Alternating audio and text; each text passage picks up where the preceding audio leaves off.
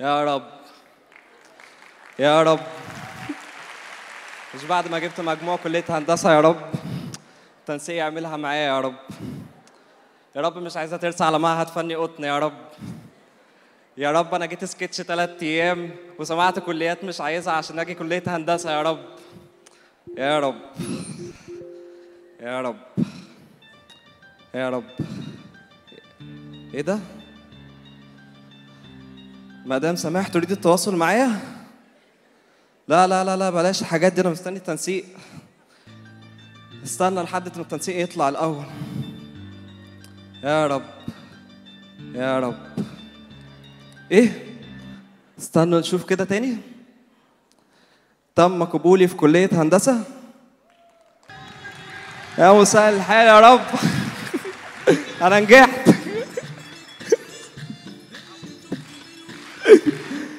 أخيرا. خلاص. آه، بعد تعب سنين كتير قوي في ثانوية عامة جه الوقت إن الواحد يرتاح فيه في الكلية. وأخيرا. وأخيرا. إيه ده في إيه؟ طلع إيه يا عم؟ أنت في ده انت هتحلق لي ولا استنى. بسم الله الرحمن الرحيم. كل ده ليا لوحدي؟ بسم الله. يلا على فين؟ على فين؟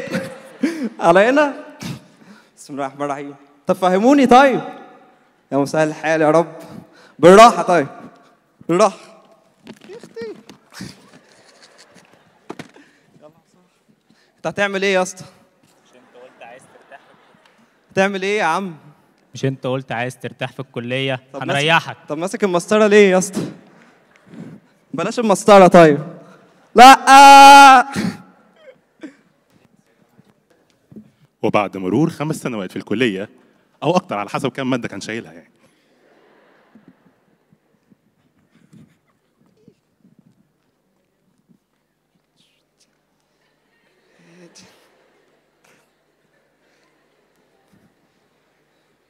يا أستاذ يا أستاذ عايز مساعدة؟ أستاذ إيه يا ابني؟ أنا باش مهندس.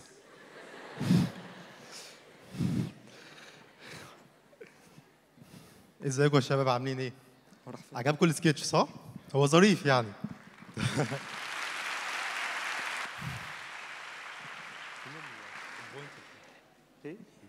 بوينتر بس يا جماعة. ماشي. مين هنا يا جماعة الأول آه، علم رياضة؟ طيب مين عمل آه، تلت التسعة كام؟ طيب ما شاء الله الحمد لله. ما كسفتوناش طيب آه، مين هنا عايز يدخل هندسة؟ برغم كل الكلام بتاع الذكاء الاصطناعي وال AI وكله كله أيوه يا جماعة هندسة هي الأصل. أصعب كلية في مصر. ماشي. خدت ال pointer جاهزين بقى نعرف شوية حاجات عن الكلية ولا إيه؟ مش عايزينكم تزهقوا مننا. هي الأقسام كتير.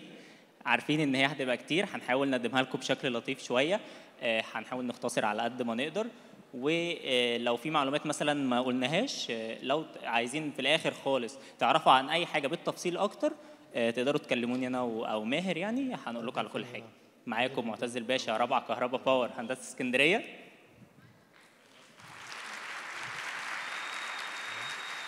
ومعاكم محمد ماهر تانية هندسة power اسكندرية برضه وإحنا الاثنين هنقدم لكم إيه؟ هنقدم لكم هذا الصرح العظيم. طبعا كلنا عارفين المبنى ده مبنى إيه صح؟ محدش في اسكندرية عارف ده مبنى هندسة اسكندرية هو مبنى iconic صح ولا إيه؟ بس لو ركزتوا في ال design بتاع الكلية أو بتاع المبنى ده هتلاحظوا ان هو شبه حاجة كده عارفينها أيام دراسات لو فاكرين. شبه حاجة زي كده مثلا صح؟ صح ولا إيه؟ طيب أنتوا مثلا مش هتخلوا الموضوع ده إن المهندس اللي صمم الكلية آه، كان عايز يبين لنا حاجة مثلا قبل ندخل الكلية؟ كان عايز يبين لنا إن مثلا هندسة دي معبد؟ أنت تفهمها زي ما أنت بتفهمها بقى عب- معبد عبودية معبد إن هي حاجة عظيمة. يعني بص رحلتك في الكلية هي اللي هتفهمها تمام؟ Okay. إحنا هنشرح الكلية على هيئة storytelling بنبدأ إن أنت طالب في ثانوية عامة إيه المعلومات اللي أنت عايز تعرفها؟ آه خلاص بقى نتيجتك ظهرت وفرحان إن أنت كل دخلت الكلية وكمان أنت بقيت طالب في الكلية وبتيجي ورا سكاشنك ومحاضراتك وال- والتدريبات بتاعتك وهكذا. وكمان أنت خلاص اتخرجت وفرحان إن أنت خلصت 17 سنة تعليم وكمان فيما بعد الكلية إن أنت خلاص بقى وظائف العمل وتشتغل كمهندس فعليا. فإحنا هنعمل سم اب كده لل four stages دول عشان تحدد الكلية دي مناسبة ليك ولا لأ. ماشي. نبتدي بان انت طالب في الكلية. إيه المعلومات؟ آه sorry طالب في ثانوية عامة. إيه المعلومات اللي أنت محتاج تعرفها؟ أول حاجة إن الكلية طبعا بتاخد إيه؟ من علم الرياضة صح؟ كلنا عارفين. تاني حاجة وهي تنسيق هندسة اسكندرية. بس إحنا هنتكلم عن تنسيق هندسة بالنسبة لحاجتين. بالنسبة لهندسة اسكندرية بالتحديد وبالنسبة لمستوى الجمهورية. طب بالنسبة لآخر سنتين 2021 هندسة اسكندرية كانت اخذت من 84 و6 من 10 و22 اخذت من 86 يعني يعتبر 86 بالظبط. بالنسبة لمستوى الجمهورية 2021 أخذت من آه، 79 وسنة 22 ارتفعت وبقت 83 و6 من 10 زي ما أنتم ملاحظين السنة عن بعدها النسبة فعلا ارتفعت. مبروك. خلاص. التنسيق جالك زي ما إحنا شفنا كده ويا ترى بقى هترتاح آه، في الكلية زي ما ساره حصل له؟ لا. نعرف بقى إيه اللي هيحصل لك أو إيه هي بدايتك في الكلية. أول حاجة نعرف نظام الكلية إيه؟ الكلية هي خمس سنين. أول سنة منهم هي سنة إعدادي بتبدأ تاخد فيها مواد مثلا يعتبر أنت بتاخد المواد اللي هي كانت في سنه زي إيه؟ زي فيزياء زي كيمياء بتاخد ماث ماث 2 ماث ماث 1 آه، بتاخد رسم آه، بتاخد انجلش حاجات مواد يعني ملهاش علاقة قوي بهندسة بس أنت بتاخد نظرة عامة كده ليه كل دوت؟ علشان في الآخر يحطوك برضو إيه؟ في تنسيق عشان تبدأ تختار القسم. وبعد كده بتقعد أربع سنين كاملين في الكلية في التخصص بتاعك اللي أنت هتختاره. طيب الكلية عندنا فيها شعبتين. أول شعبة هي شعبة عام ودي العدد فيها حوالي 1500 طالب. زي ما أنتم شايفين العدد قبل كده كان زيادة في الكلية دلوقتي لا قللوه. آه، بقينا بناخد عدد قليل فالفرصة بقت للناس مش مش زي الأول قوي آه، بالنسبة للمصاريف فهي حوالي 2000 جنيه وبس. طيب بالنسبة بقى لشعبة الأقسام المتخصصة اللي هي ال SSP ده العدد بيبقى أقل شوية بيبقى حوالي 700 طالب بس المصاريف بتبقى زيادة. طيب آه، بتتحاسب فيها إزاي؟ آه، زي ما أنتم شفتوا إحنا بنشتغل دلوقتي بنظام الساعات المعتمدة وهكذا. فأنت بيبقى ليك آه، الساعة الساعة بيبقى ليها سعر اللي هو كان حوالي 1300 ل 1400 جنيه. فأنت لما تضربها في total الساعات بتاعك في السنة فالمصاريف بتبقى حوالي 50000 جنيه. طيب في حاجة حابين ننوه عليها كده في نظام ال GPA الجميل اللي عندنا. إن عندنا ال- الدرجات ال range بتاعها يعني صعب شوية. يعني لو بصينا كده هنلاقي إن ال F من 60% يعني أنت لو جبت 50% في المادة زي معظم الكليات مثلا اللي هو أصلا المفروض إن نظام ال GPA كده فلا ال 50% دي ال 50% دي هتشيلك المادة عادي فأنت لازم تجيب 60% وبالتالي عشان تجيب امتياز أصلا آه، لازم تجيب 93% يعني أنت طول السنة في المادة بتنقص سبع درجات بس. ده بيحط عليك load كبير قوي إن أنت دايما تكون مثلا درجاتك حلوة ال GPA كويس بس يعني بتلاقي ساعات مواد سهلة مواد صعبة بتعدي يعني وما تقلقش الموضوع هيبقى سهل. طيب إيه بقى الحاجات اللي أنت محتاجها وأنت داخل الكلية؟ آه خلاص داخل إعدادي إيه الأدوات اللي أنت محتاجها؟ بص عشان أبقى صريح معاك أنت مش محتاج أي أدوات من الأدوات دي ولا المسطره التي ولا المثلث الارسطو ولا أي حاجة خالص من الناس اللي بتقول لك هاتها. ليه؟ هديكم مثال بسيط. أنا هو قدامكم في قسم كهرباء. بقالي ثلاث سنين في القسم. ما استخدمتش أي حاجة من الحاجات دي. ولا حتى مثلث أرسطو اللي الناس بيقول لك هيقعد معاك طول الهندسة. ليه؟ علشان أنا عندي في كهرباء. ما بستخدمش الحاجات دي. أنا ممكن آه أجيب أجهزة كهربيه أسلاك بتاع بس ما بستخدمهاش. فانت لو مش حابب تجيب الأدوات دي مثلا عندك صاحبك قريبك عنده الأدوات دي هاتها استخدمها في سنة إعدادي وإن شاء الله لما ربنا يكرمك وتدخل القسم اللي أنت حابه أو مش حابه على حسب يعني ال GP بتاعك فساعتها تجيب الأدوات اللي أنت عايزها للقسم ده واللي أنت هتكمل بيها الأربع سنين. طيب ندخل بقى في ال subjects points أو المواد عندنا بتتقسم ليه أصلا؟ المادة الطبيعية بتتقسم لجزئين جزء ال term work أو أعمال السنة وجزء إيه؟ جزء ال final ال term work بيبقى 40 درجة. هو أصلا المادة عندنا بتبقى 100 درجة. فنقول مثلا 40% أو حاجة زي كده فنعتبر 40 درجة من المادة. متقسمين لإيه بقى الأعمال السنة دي؟ متقسمين لل midterm و attendance سواء quizzes sorry سواء sections أو lectures وكمان عندنا quizzes و labs و practical oral وبتختلف طبعا من مادة لمادة. مادة زي ال physics مثلا فيها لا فيها practical وفيها oral مادة زي ال chemistry لا هي ما فيهاش غير ال practical وال labs بس. وال final اللي هي 60 درجة الباقية بتبقى إيه؟ بتبقى. ورقة ال final بس. طيب. في بس نصيحة لازم أقولها لكم قبل ما تدخلوا الكلية وهي إن ال midterm لا يقل أهمية عن ال final إزاي؟ ال midterm مثلا أنت مسجل ست مواد في الكلية. ست مواد sorry في ال term ده. الست مواد في ال midterm أنت بتاخدهم أسبوع كامل امتحانات ورا بعض. كل يوم امتحان امتحان امتحان. فما بتلحقش تلم المنهج زي ال final ال final بيبقى عندنا نفس المواد بس بيبقى مترت... يعني أو متوزعين على أسبوعين شوية. بيبقى في طبعا قبلهم أسبوع بتاخد راحتك فيهم في لم المنهج وهكذا. فاللي بيعرف يلم درجات في ال midterm بيفرق جدا معاه في ال grade في الآخر. خد يا باشمهندس. إيه ده؟ مش شغال سامحني إيه؟ تحت وقفلت وشلت الفيشه حطيت الفيشه عملت كل حاجة. مش أنا المفروض ما كلمت الصيانه قلت لي انت فاكر كلمت الصيانه وقال لي خلاص إحنا بطلنا شغل أنا هقول لك طيب. وبعدين دخلناك هندسة ليه؟ لا أنا مش هندسة كهرباء أنا هندسة ميكانيكا. طب انزل بص عربية أمك. لا أنا مش سيارات برضو. أنا إنتاج مراقبه جودة. يعني بتأكد إن التلفزيون بصوا هو الفيديو مش شغال كويس بس هو بيقول إيه يعني؟ إن موقف بيعدي علينا كلنا. أول ما تدخل الكلية هتلاقي أهلك كلهم فاكرين إن أنت إيه بتعرف تصلح كل حاجة. تلفزيون باظ سخان باظ مش عارف إيه تعرف تصلحه. أنت باشمهندس بقى. طب هل الكلام ده صحيح؟ هو كلام يعتبر صحيح شوية نسبيا بس علميا لا. كله متخصص في تخصصه sorry sorry انت بتدخل التخصص بتاعك تبقى متخصص أو عارف التخصص بتاعك ده إيه بالظبط. فكل واحد إيه بيبقى فاهم في التخصص بتاعه. عندنا في الكلية 11 قسم. وده آخر تنسيق كلية هندسة اسكندرية طبعا. ده آخر تنسيق كان نزلنا اللي هو تنسيق دفعتي. زي ما أنتم ملاحظين في كليات فوق خالص كده أو sorry أقسام فوق خالص كده. فلو أنتوا عايزين تركزوا أو عايزين مت target ين قسم من فوق ده لازم تهتموا جدا في إعدادي. ما تقولش بقى إن أنا خلاص خلاص الثانويه أرتاح في الكلية وكده. إعدادي سنة مهمة جدا لازم تهتم بال GPA بتاعك. طيب زي ما قلت عندنا 11 قسم إحنا مقسميهم زي packages كده أو groups كل الأقسام اللي related لبعض أو ليهم علاقة ببعض يعني. فعشان إيه يكون سهل بالنسبة لكم شوية. نبتدي بأول آه مبدئيا أنت في القسم أنا هشرح لكم إيه هنشرح لكم إن أنت كطالب بتدرس إيه في القسم ده وبعد ما تتخرج هتشتغل في إيه أو فرص العمل يعني في القسم ده okay؟ طيب نبتدي بأول حاجة عندنا هو هندسة الحاسب. بصراحة القسم ده مميز قوي عندنا لأن هو زي ما أنتم فاكرين هو أعلى في أعلى قسم في التنسيق خالص. فلو أنت داخل وعايز هندسة الحاسب بالذات لازم فعلا تهتم بال- بال GP بتاعك في إعدادي. ليه؟ لأن هو بياخد 80 مقعد بس أو هي أصلا بتبقى نسبة بس تبقى 80 مقعد بس من الدفعة كلها. يعني من الآخر أوائل الدفعة. الدفعة اللي هي زي ما معتز قال كان 1500 فانت متخيلين الرقم؟ لازم تكون أوائل ومهتمين قوي في إعدادي. طيب القسم ده إحنا مسمينه عندنا إيه؟ مسمينه هندسة أو sorry ال- الطالب المتوحد. إن هو الطالب هو والكمبيوتر بتاعه هو صاحبته هو هو حرفيا ده عيلته هو والكمبيوتر أو اللابتوب بتاعه. فإحنا مسمينه مسمينه طالب المتوحدين يعني okay؟ ماشي. عايزين بس صراحة معلومة وهي هندسة الحاسب عندنا اسمها هندسة الحاسب والنظم. تركزوا جدا على النظم دي وهنقولها لكم ليه بعدين. طيب مبدئيا أنت بتدرس إيه في الكلية؟ من اسمها هو حاسب أصلا اللي هو إيه؟ اللي هو كمبيوتر فأنت بتدرس software وبتدرس ال hardware بتاع الكمبيوتر. software بقى كل حاجة لها علاقة بال software programming languages وكمان بتدرس ال- اللي هي ال AI machine وال machine learning sorry ال AI وال machine learning بتدرس كم كبير منهم لحد ما توصل level advanced فيه. وكمان في ال hardware sorry كمان في ال hardware بندرس بقى ال components زي ما أنتم عارفين طبعا إن الكمبيوتر فيه ال processor وكارت الشاشة أنتوا عارفين الحاجات دي. بيدرسها ك physics شوية بيدرس إذا إيه اللي بيحصل فيها وهكذا electronics يعني.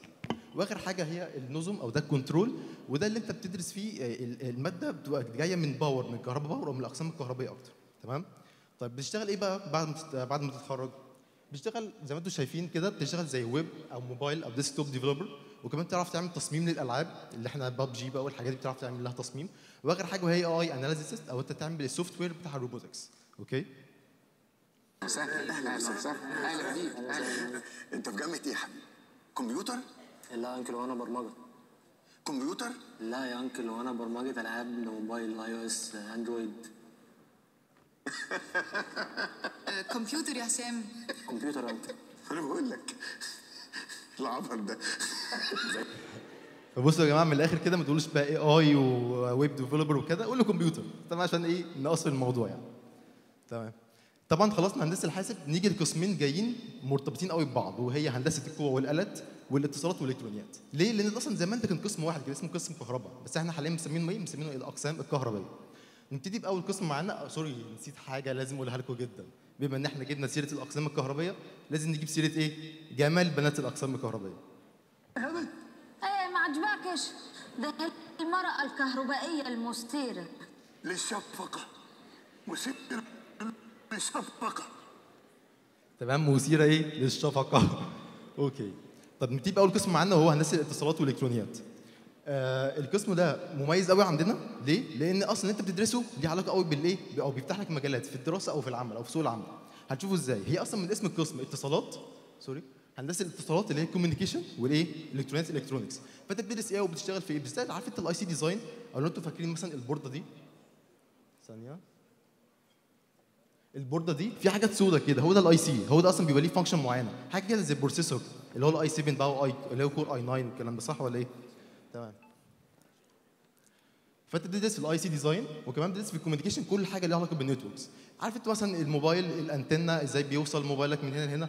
من زمان قوي حتى من ال wired اللي هو بقى wireless دلوقتي وال GPS وال satellite communication وكذا فانت بتدرس كل حاجة من basic ل advanced والكلام ده بيفتح لك مواضيع أو بيفتح لك مجالات كتير قوي زي ال control وال programming وال AI وال IoT وكمان ال embedded وإيه تاني؟ ترابيزات بلياردو؟ وبنج فهو بيفتح لك مجالات كبيرة قوي. فهو فعلا قسم بيفتح لك يعني تشتغل وتدرس حاجات أكتر أكتر وكده. القسم الثاني في عائلة الأقسام الكهربية هو قسم القوة والآلات الكهربية اللي هو القسم بتاعي القسم بتاع مهر. طيب القسم ده أنت بتدرس فيه إيه؟ أو بيفتح لك مجالات شغل زي إيه؟ أول حاجة أنت بتدرس فيها كل حاجة ليها علاقة بالكهرباء. زي إيه؟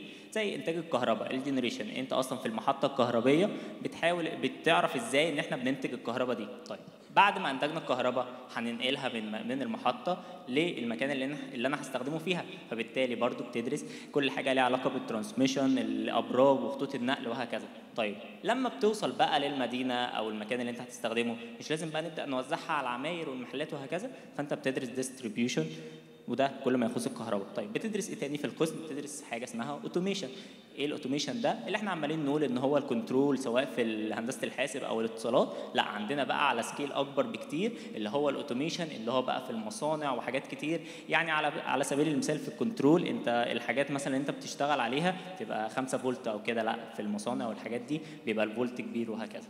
طيب بتدرس إيه؟ تاني بتدرس كل حاجة ليها علاقة بالآلات زي المولدات وال generator وال transformers وكل الحاجات دي. عارفين الفيزياء الكهربيه بتاعت ثالث ثانوي؟ هتتبسطوا. يعني اللي كان بيشوفها سهلة وجميلة هيشوفها برضو سهلة وجميلة في القسم عشان فعلا فعلا إحنا عندنا في القسم بتدرس بتدرس الفيزياء الكهربيه بشكل جميل وبتت يعني بتتعمق فيها قوي. بتدرس إيه تاني؟ بتدرس طبعا ال safety بقى إن أنت كمهندس كهرباء بتتعامل مع جهد كبير وحاجات كده فلازم تكون دارس سيفتي كويس. بتدرس برضو الامبيدد برضو من الحاجات اللي أنت تقدر تشتغل فيها والطاقة المتجددة وهكذا. من الآخر يعني هتتبسط في القسم بتاعنا. امسك السلك يا اشرف وإلا أنت عارف أنا هعمل فيك إيه؟ خلاص يا كبير همسكه همسكه ما فيه السلك يا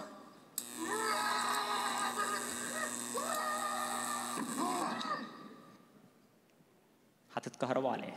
طيب كده إحنا خلصنا خلاص هندسة الحاسب والأقسام الكهربية. ندخل بقى في تاني حاجة من الأقسام اللي هي الأقسام المعمارية والإنشائية. وأول قسم عندنا هي التقسيمه دي يا جماعة إحنا اللي مقسمينها على مزاجنا يعني. عادي ماشي مش الكلية. ماشي. أول قسم معانا هو قسم الهندسة المدنية. بتدرس فيه إيه؟ بتدرس كل حاجة ليها علاقة بالإنشاءات. زي بقى بناء الطرق والكباري زي إزاي بتعمل إزاي البنية التحتية للمدن أو إن أنت تصمم وتعمل شبكات الري العملاقة أو شبكات الصرف الصحي وهكذا. طيب بالنسبة بقى للشغل عندك طريقين تقدر تمشي فيهم. أول طريق وهو في مكاتب التصميم. بتعمل فيها إيه؟ أول حاجة بتعمل اللوح المبدئية للموقع. يعني أو هو أرض كده فاضية بتعمل أنت اللوح المبدئية. وبعد بعد كده لما الموقع يخلص وكل حاجة بيبدأ مرحلة التشطيب. بتجي لك برده اللوح على المكتب أنت برده بتعمل لها التشطيب. طيب إيه هو الطريق الثاني إن أنت تكون مهندس بقى في الموقع نفسه. إيه شغلك في الموقع دوت؟ ممكن تكون مهندس مهندس إدارة الموقع ده إن أنت بتبقى مسؤول عن كل حاجة في الموقع أو بتكون مهندس مساحة إن أنت بتروح للأرض أصلا قبل ما ال- الأرض الفاضية كده قبل ما الموقع يقوم تعمل مس- مسح للأرض كده وتشوف إيه- إيه المواصفات الأرض ومساحتها وهل هتنفع للمشروع بتاعنا ولا لأ. وآخر حاجة بتكون مهندس آه، مادة. مهندس مواد. انت بتبقى دارس خصائص المواد عموما اللي هي الخرسانة بقى والطوب والرمل وهكذا. فانت لازم تعمل دايما تحليل وفحص دايما عشان تشوف هل المواد دي صالحة إن أنا أستخدمها في المشروع بتاعي ولا لأ. طيب خلصنا الهندسة المدنية. يجي للقسم الجاي وهو هندسة المعمارية. القسم ده بصراحة مميز قوي بالنسبة لي لأن أنا وأنا صغير ما كنتش أعرف إن المهندس غير إن هو إيه مهندس اللي بيبني مباني. أنا كان نفسي أطلع مهندس عشان أبني لي الفيلا بتاعتي أصلا. يعني فهو أحلام يقظة خالص يعني. مفيش 11 قسم بقى والحاجات دي. أوكي. طبعا القسم عندنا أنت بتدرس إيه في الكلية؟ بتدرس تصميم معماري تص- تصميم تنفيذية وتخطيط وتطبيقات حاسب وتحكم بيئي واستدامة. طب بتشتغل إيه؟ أنت ليك مجالات في الشغل حلوة مش وحشة. بتشتغل كمهندس تصميم معماري كمهندس تنفيذي كمهندس تخطيط وكمهندس استشاري وكمان كمهندس تصميم عمراني. طيب طبعا زي ما أنتم عارفين كده إن دلوقتي في مباني ابنورمال مباني غريبة كده مهندسين معماري بقى بيعملوا عارفين زي حديد؟ صح؟ بيعملوا زي كده عاملة مباني كده غريبة وشكلها غريبة صح؟ فهو فعلا في مباني آه، مريبة قوي. خلاص يا عم. تمام تمام. خلاص يا عم مالك مفخمة إزاي؟ في حق عمارة ليه كده؟ ده أنت أصلا ما تعرفش إنهم بيعملوا إيه تاني؟ إحنا كلنا عارفين إن الجنينة بتكون على الأرض. لا. الباشمهندس يقدر يعمل الجنينة معلقة زي حدائق بابل المعلقة كده. فهو بصوا بيعملوا إيه؟ بيعملوا الجنينة المعلقة يعني ف... طيب. في حاجة بس آه، لازم ننبه عليها للقسم ده بالذات إن أنت في مادتين لازم تاخدهم آه، للقسم ده في إعدادي. آه، مادة بتاخدها في الترم عادي يعني بتقدر تسجلها بيبقى ليك بيبقى مسموح لك يعني في الساعات بتاعتك إن أنت تسجلها. ومادة تانية بتاخدها في السمر. هم مواد بسيطة بتبقى مادة اسمها تاريخ الهندسة المعمارية تقريبا والتانية اسمها الهندسة البصرية. مواد كده يعني بسيطة بس أنت لازم تاخدها علشان تقدر تدخل القسم ده. حاجة كده شبه القدرات يعني بس هو مش اختبار. أنت بتاخد مواد وبتدخل القسم. طيب. بالظبط. إحنا كده خلصنا إيه؟ خلصنا هندسة الحاسب والإيه الكهربيه وكده وخلصنا كمان الهندسة المعمارية. نيجي للقسم الجاي وهو هندسة كيميائية. أول ما تسمع قسم هندسة كيميائية هيجي في بالك صورة زي دي صح؟ آه مع علماء كده بسيط في المعمل beaker flask reactions بسيطة. لكن الحقيقة لا أنت كمهندس كيميائي هتبقى داخل الموقع. عارفين اللي هو هندسة أو sorry المصانع الأسمدة والأسمنت والحاجات دي؟ هو أنت بتبقى داخل الموقع بتبقى مهتم قوي بالإيه؟ بال- بال- باللي بيحصل في العملية كلها داخل المصنع صح؟ طيب في بس حاجة لازم أقولها لكم هو إيه الفرق بين كلية علوم قسم كيمياء وكلية هندسة قسم كيمياء؟ الصورة دي هتوضح.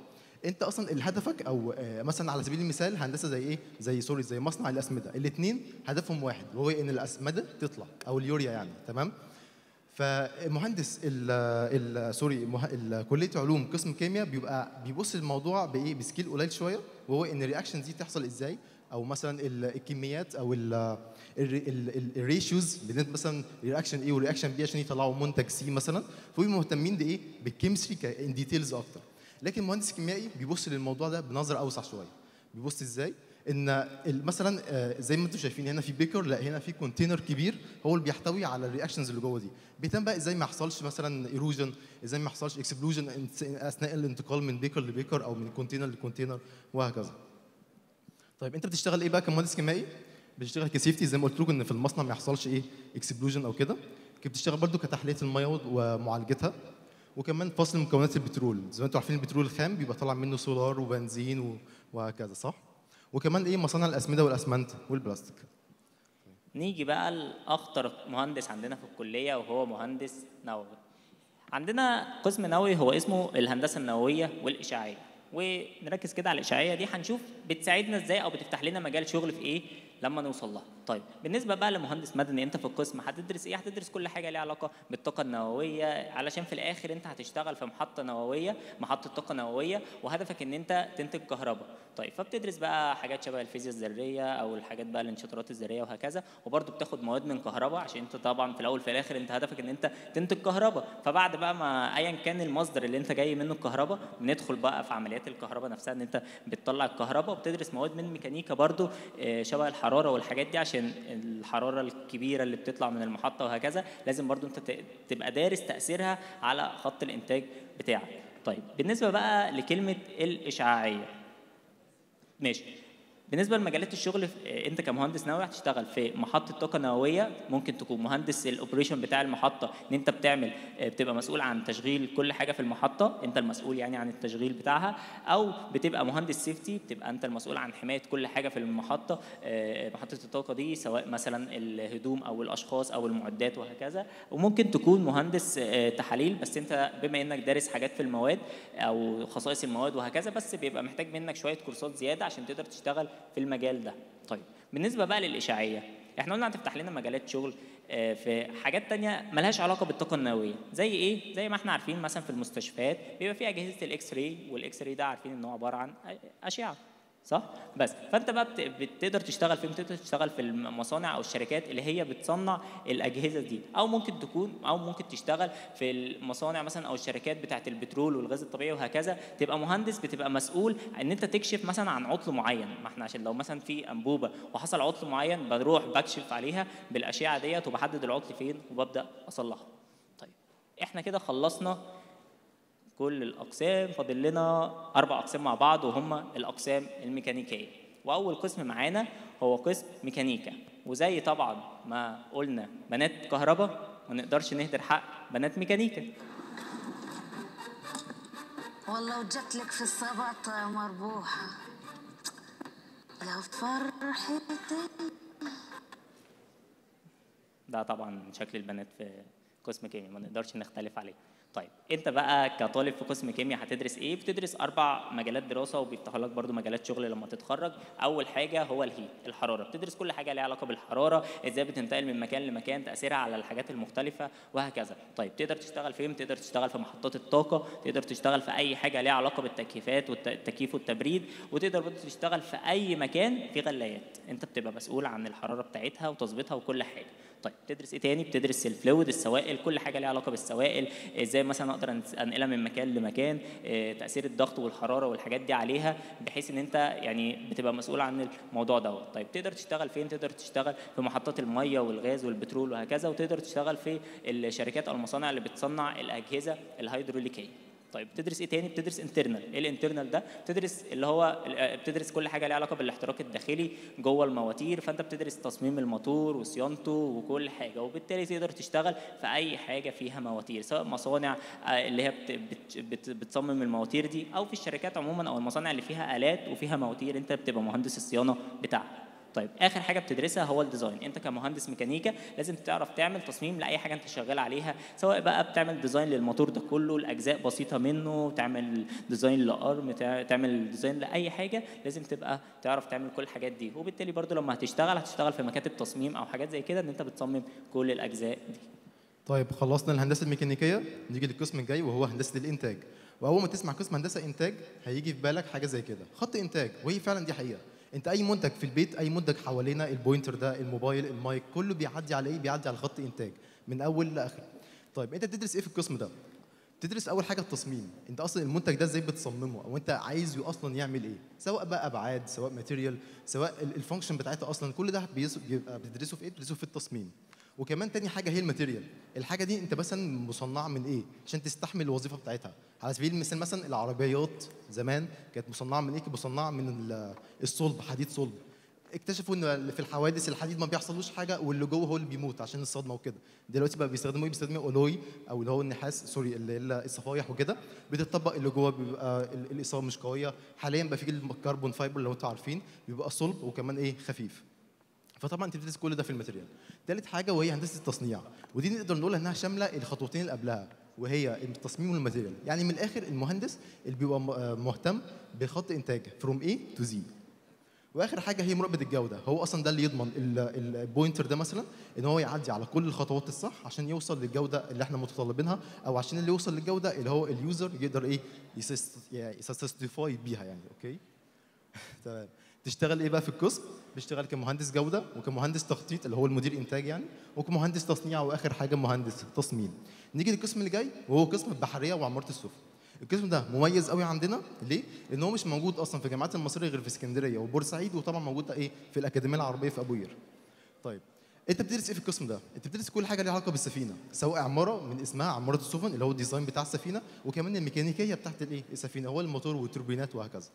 طيب بتشتغل في إيه؟ بتشتغل في أربع sorry ثلاث حاجات. ك design offices اللي هو المكاتب التصميم إن أنت بتصمم ال- ال- ال- السفينة دي سواء بقى سفينة تجارية سفينة حربية سفينة اللانش الصغير ده أو ايا كان. كمان في ال ship arsenal أو الترسانات عارفين أنتوا الفيديوهات اللي هي ال- السفينة لما بتنزل في المية اللي هو خلاص بتنطلق؟ دي بقى الترسانة ده اللي هو خلاص خلاص التصميم بتصنعها بقى من الأول للآخر وبعد كده بتطلقها في البحر. وآخر حاجة هي إن أنت تبقى مهندس على السفينة خلال الرحلة. مثلا سفينة تجارية من الدولة لدولة فأنت المهندس المسؤول عنها. كل حاجة بقى سواء عطل فني أو عطل ميكانيكي أنت المسؤول عنها نيجي للقسم الجاي وهو قسم إيه؟ قسم هندسة الغزل والنسيج. القسم ده مميز ليه؟ لأن هو ليه مستقبل، أنتوا مثلا عارفين ال- ال- الأقمشة اللي هي بقت مايكرو فايبر اللي هي بتصب عليها الميه بتنزل ما بتشربش وكده، عارفين طبعا ال- ال- ال carbon fiber والحاجات دي، فهو فعلا قسم ليه مستقبل. وأخيرا خلصنا 11 قسم بتوع شعبة عام كتير قوي 11 قسم يا جماعة. آه والله ندخل بقى على الثمانية بتوع SSP ولا زهقتوا مننا؟ لا لا ما تقلقوش. مش هنشرح أقسام SSP بالتفصيل قوي يعني. إحنا يعني مش هيبقى فيها جديد قوي. ولو زي ما قلت لكم في الأول اللي عايز يعرف بتفاصيل أكتر يبقى يدخل يسألنا. بس هنقول باختصار شديد إيه هي الأقسام المتخصصة؟ الكلية جت عملت دمج كده بين الأقسام آه، زي مثلا إيه؟ computer communication دوت بيبقى مزيج بين آه، هندسة آه، قسم كمبيوتر وقسم اتصالات بتدرس مواد من هنا ومواد من هنا. electromechanics بتدرس حاجات من كهرباء وميكانيكا بس دوت بيبقى ميكانيكا أكتر.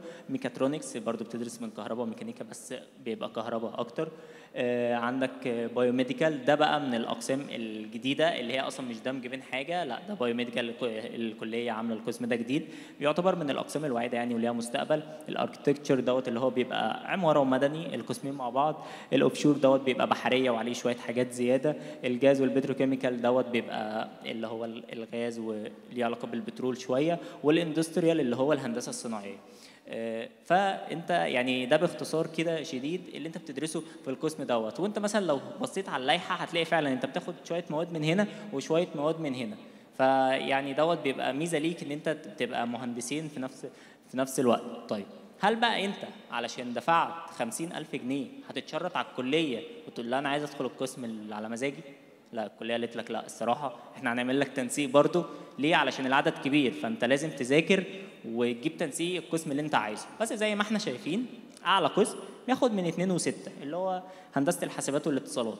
فيعني التنسيق مش عالي جدا. يعني إحنا لو شفنا رجعنا أصلا للتنسيق بتاعنا 2 و6 ده هنلاقيها كان بتاع ميكانيكا مثلا ولا حاجة. فمش هيبقى صعب جدا إن أنت تجيب التقدير ده. لو أنت ذاكرت واجتهدت هتلاقي نفسك جبت التقدير بتاع أي قسم أنت عايزه لو دخلت SSP طيب من الأقسام اللي إحنا هنركز عليها شوية هو ال biomedical آه ليه؟ علشان هو من الأقسام فعلا اللي ليها مستقبل ده بتدرس بقى فيه حاجات ليها علاقة بالأحياء الب- البيولوجي والحاجات دي كلها وبتشتغل فين بعد كده؟ بتشتغل بقى في المصانع والشركات بقى اللي هم بيعملوا الأطراف الصناعية أو شبه ما ات- اتكلموا في كلية الذكاء الاصطناعي إن أنت بقى بيعملوا الروبوتس اللي هي بتعمل العمليات وبتبقى واقفة مع الدكتور وهكذا فبتدرس بقى أنت إيه؟ كل الحاجات دي. إحنا كده الحمد لله خلصنا السنين الكلية ووصلنا ان أنا بقيت خريج. إيه بقى اللي هيخلي الخريج المهندس الخريج ده ياخد فرصة شغل من الفرص اللي إحنا قلناها أو يمكن فرص احسن بكتير عن غيره من زمايله اللي متخرجين برضه من الكلية اللي هم 1500 و700 SSP وشوف كام كلية على مستوى الجمهورية. انت بتتكلم في عدد مهول من المهندسين فانت لازم تروح لازم حرفيا تشتغل على نفسك جامد جدا علشان توصل للوظيفة. طيب إيه اللي هيميزك عن غيرك؟ حاجتين قرار وشخصية. يعني إيه قرار؟ يعني انت لو في اي شغل لازم هيجي عليك وقت لازم تاخد فيه قرار. طيب القرار ده انت هتاخده على يعني مبني على إيه؟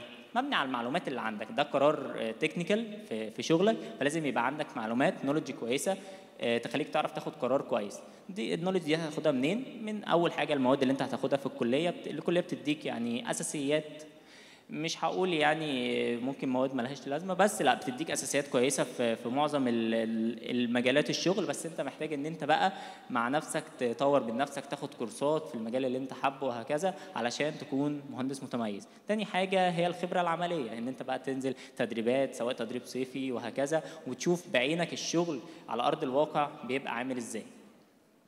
طيب أنتوا عارفين الصورة دي صح؟ صورة ال CV.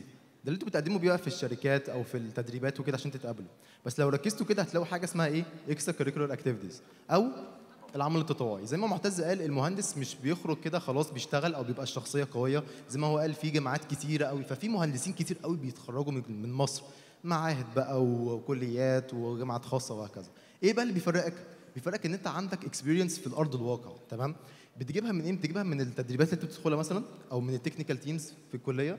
انت مثلا دخلت قسم معين هل انت مهتم بحاجة تانية؟ مهتم مثلا بالغواصات أو كده؟ عايز تتعلمها؟ في technical teams في الكلية مهتمين بالغواصات مهتمين بال ROVs مهتمين بال electronics مهتمين بكل حاجة. طيب في جملة لازم تكونوا حاطينها في دماغكم وهي what was what was last time? You did something for the first time. إمتى انت آخر مرة عملت حاجة لأول مرة. لو حطيت الموضوع ده في بالك هتلاقي نفسك عايز تجرب حاجات جديدة. هتلاقي نفسك عايز تجرب حاجات انت عمرك ما جربتها. حاجة مثلا آه، أنا ماشي أنا في مهندس هو هل أنا هل نسيت التصوير؟ أنا مثلا بحب التصوير أو بحب أعمل short movies وكده. هل نسيت؟ لأ. أنا مهتم بالحوارات دي. طب أنا اتعلمت إزاي؟ أنا دخلت سيفل ودخلت عمل تطوعي في المكتبة هنا واتعلمت أكتر اتعلمت تصوير أكتر بقيت عارف أدوات أكتر وهكذا. كل ده بيجيبه منين؟ من العمل التطوعي.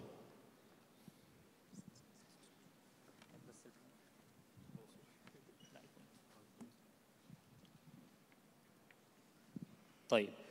وبما إن إحنا جبنا سيرة العمل التطوعي فإحنا ما ينفعش نهدر حق المكان اللي هو أصلا قايم على المؤتمر ده وهو برنامج دراسات التنمية المستدامة.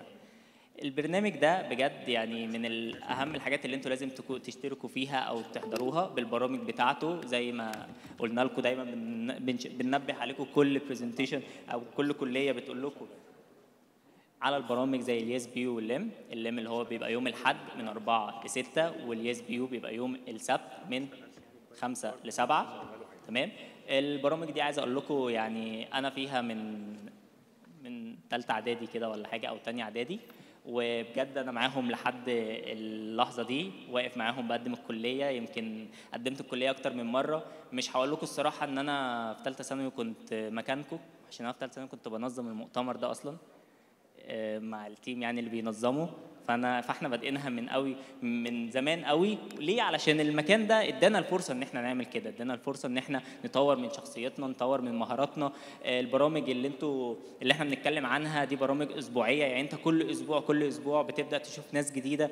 آه، بتديك الفرصة إن أنت تطلع تقدم مرة واثنين وثلاثه تقدم presentation بتديك الفرصة إن أنت تسمع غيرك تسمع آراء غيرك تاخد خبرات في مجالات مختلفة. سواء مثلا لو أنت مهندس مثلا أو بتحب الهندسة بس هتيجي ممكن تلاقي مواضيع بتتكلم في الطب أو حاجات كتير هتوسع تفكيرك أكتر هتخليك تتعامل مع شخصيات كتير هتستفيد منها. فبجد يعني مكان زي ده ما تضيعهوش من ايديكم فرصة كويسة جدا فرصة أسبوعية يعني قليل لما نلاقي حاجة بتتكرر كل أسبوع. معظم الايفنتات أو أي حاجة بتلاقيها إيه مرة في السنة مرتين لكن بجد ده حاجة ما تضيعوهاش تعالوا احضروها مرة واثنين وثلاثه على مدار السنة ما تضيعوهاش من ايديكم واستفيدوا منها على قد ما تقدروا. طيب. أهم حاجة بقى وهي إن مفيش حاجة اسمها كلية قمة أو كلية قاع. ليه؟ علشان الكليات كلها زي بعض. يعني أنت بنفسك تقدر تكون آه، قمة في الكلية بتاعتك أو ما تبقاش ناجح في الكلية بتاعتك. وبرغم حبنا الجامد جدا للكلية بتاعتنا وتح- وتحيزي أنا لكلية هندسة ودايما أي حد ما بحبوش يتكلم عن الكلية ودايما بدافع عن الكلية واللي هو إحنا أصعب كلية في مصر وتمام ماشي. أي حد يكلمني مثلا آه، زي ما الذكاء الاصطناعي كده اتكلم اللي هو أي حد أقول له يا عم أنت آخرك بالنسبة لي كود يعني دكتور آه، أي حد. أنت كود هحطك على ال microcontroller وخلاص. بس أنا بتكلم كده عشان أنا بحب الكلية دي. انت برضه ادخل الكلية اللي انت بتحبها عشان يوم ما تقف تتكلم عنها تتكلم عنها بحماس بحب بتقدر تدافع عنها ما تبقاش داخل الكلية لما حد يهاجمك تقول له لا والله انت عندك حق أنا الكلية بتاعتي آه، مش كده. لا لازم تحب الكلية اللي انت فيها آه، بجد لازم تحاول تعمل أقصى حاجة في الكلية. هقول لكم نصيحة شوية نصايح كده تاخدوها علشان تبقى مبسوط في الكلية. أول حاجة دي بقى خدوها خبرة من يعني خلاص أنا بقالي أربع سنين في الكلية والسنة الجاية هتخرج. فخلاصة الكلية عشان تبقى متخرج فيها مهندس شاطر أول حاجة ما تفرطش في ال GPA بتاعك اللي أنت هتجيبه أول سنة في إعدادي. تلاقي بقى نفسك داخل إعدادي آه، عندك حماس وكده وجبت GPA عالي ما تضيعهوش. آه، اخوكم هنا جبت 3.59 في سنة نزل ل 2 نزلت واحد. على طول واحد بس لما شديت يعني جبت 3 و6 على طول وبعد وبدأت أرفعه تاني. بس ما تغلطش غلطتي وما تفرطش في الجي بي بتاعك. دي أول حاجة. الحاجة الثانية لازم لازم لازم من إعدادي تبقى عارف أنت هتشتغل في إيه وهتبدأ تطور نفسك في إيه طيب أنا ليه بقول لك الكلام ده؟ هديكم آه، يعني برضو أنا كل حاجة هقولها لكم مثال عليا. أنا لما دخلت القسم ما كنتش عارف عايز اتصالات ولا power بس جالي power فدخلت القسم ومش عارف هل أكمل distribution عندها distribution أو أكمل control وهكذا. قعدت سنتين أولى وثانيه أنا أنا في دماغي عايز اكمل control لحد ما بالصدفة كده لقيتهم بيقولوا مجال ال embedded وبتاع وهكذا. لا حبيت ال embedded حبيت إن أنا آخد كورسات فيه وهكذا. ببص بقى على فرص التدريب لقيت شركات زي Valeo زي سيمنز زي الحاجات دي منزلة تدريبات scholarships في الصيف. بس محتاجة مين؟ حد ناس واخدة دبلومة. يعني أنا دلوقتي شغال في دبلومه embedded 260 ساعة. عايزه بقى حد هو عايز حد يكون مخلص الدبلومة دي ويجي ياخد التدريب عنده. فما تضيعش الفرص دي من إيدك. اشتغل على نفسك من آه، من اول ما تدخل الكلية. آه، ما تضيعش الفرص. ليه؟ علشان قدام لما تلاقي فرصة تدريب كويسة التدريب دلوقتي بيعمل انترفيو بيفكك من التدريبات اللي هي شبه آه، اللي انت بتروح تاخد الش- الشهادة منها وتمشي. لا بتكلم على التدريبات. اللي انت لما تتخرج بيبقى مثلا نسبة 80 70 80% الشركة دي هتخليك تشتغل عندها. تمام؟ فاشتغل على نفسك من أول سنة هتقول لي أنا مش عارف أحدد آه، أحدد أنا عايز أشتغل في إيه يبقى أول سنة ليك تظبط ال- اللغة بتاعتك الإنجليش. الإنجليش مهم جدا جدا جدا. ما بقى حاجة أساسية ما مش حاجة اختيارية أصلا لا حاجة أساسية. بس تقعد أول صيف كده بعد. بعد إعدادي بتظبط اللغة بتاعتك. لو انت هتقول لي ان أنا ما عنديش. عايز تاخد برامج آه، حاجات شبه مثلا لو انت بتحب الميكانيكا اوتوكاد حاجات زي كده. خد حاجات زي كده ما تضيعش أي فترة ثلاث شهور صيف من إيدك. عشان بعد كده لما تتخرج هتندم إن أنت ما عندكش الوقت ده خالص. وما نقدرش نختم البرزنتيشن بتاعتنا من غير ما نذكر أهم إنجاز عندنا في الكلية اللي إحنا بنفتخر بيه كل سنة وهو اختار هندسة 2019 22 وفطار هندسة 23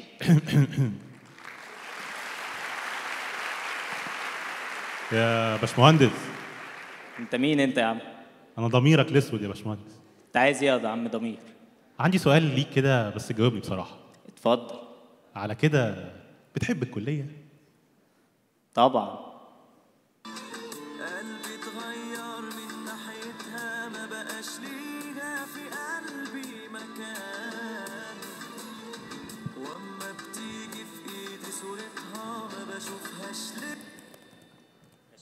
تعبنا على الفيديو دوت فهنشغله لكم من الشاشة نفسها. أيوه أيوه ثانية ثانية حاضر. أنا الفيديو ما شفتوش ممكن تشغله تاني أنا الضمير. برضه. هشغله لك دلوقتي ثانية واحدة.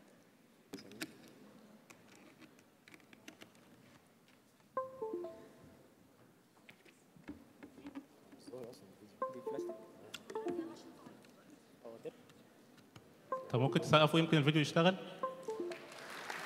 أيوه أيوه دي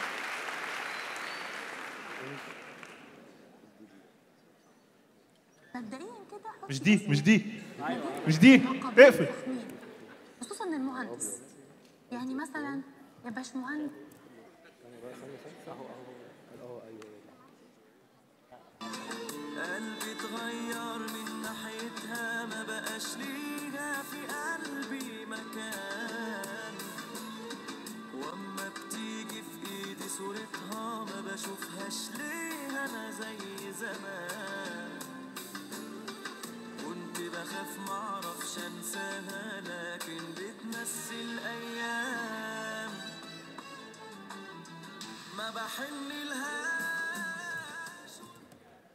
كان معكم معتز الباشا معتز اهو وده ال contacts بتاعته. ومحمد ماهر وال contacts وأي سؤال يا جماعة اسألونا على طول. شكرا.